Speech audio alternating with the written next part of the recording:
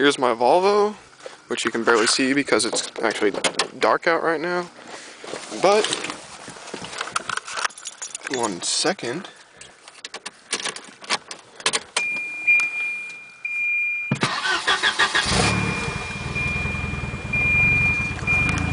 You can definitely hear it.